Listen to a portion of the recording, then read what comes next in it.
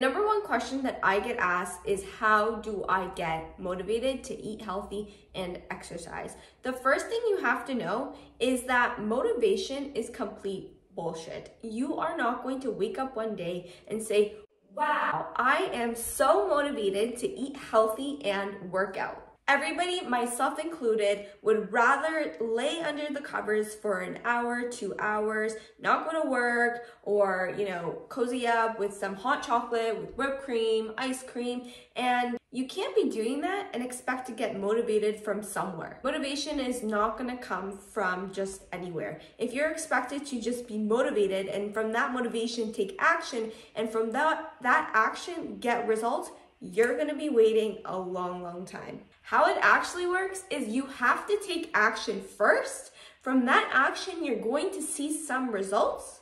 And from those results, they are going to keep this loop going and you're going to become so much more motivated in who you are becoming. If you are watching this YouTube video and you're having an aha moment, I want you to stop watching YouTube and go take action. Next, you're probably wondering, do I start with exercise or nutrition? My answer is start with the one that you enjoy the most. Personally, I like to start with the diet because you're gonna get more bang for your buck, but starting with exercise is a whole lot easier. Why? Well, it's super easy just to go for a 20 minute walk or do, you know, a few sets of push-ups rather than changing your diet. The best part is once you start doing either one of these, you are going to start to see some results. To start with exercise. I find that a lot of my clients, they become more motivated to then track their nutrition okay? Remember that exercise increases our confidence. It increases our endorphins and makes us feel very, very good. Remember that something is always better than nothing. You don't have to go to the gym for an hour if you do not have the time or, you know, if you are just a beginner. You can start small. If you're a beginner to exercise, you can do some circuits. So like choose three exercises and set a time frame for it. Let's say you wanna do 15 minutes. So you choose three exercises that you can do.